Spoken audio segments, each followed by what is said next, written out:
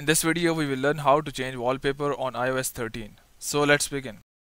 To change the wallpaper on iOS 13 on iPhone, uh, first make sure that you are on iOS 13 or any other later version.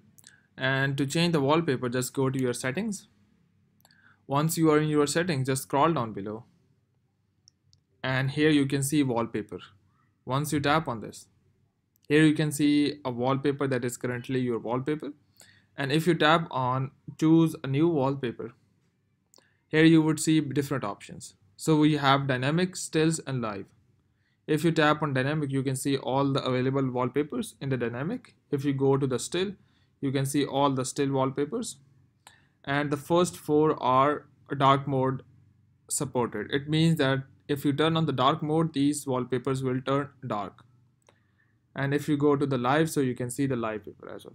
In ios 13 uh, they have allowed that you can have photos from your gallery as your wallpaper. For example if i want to have this photo as my wallpaper i would just go and tap on this photo like for example this in the gallery and i would tap on set. Either you can also do multiple settings like this one. And here you can have setting like if you want to set the lock screen or set the home screen as or you can set it as both. If I set it as home screen, so it would be setting wallpaper, it would take a few minutes.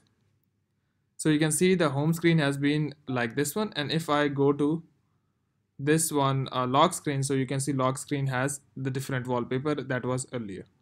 So if you want to set it to the both, like I want to set it as both, and if I want to set both, and it would take a little time so here you can see it has been set as both. So here we are. So hope it, it would help you in setting the wallpaper on iphone on ios 13 but before you go please like subscribe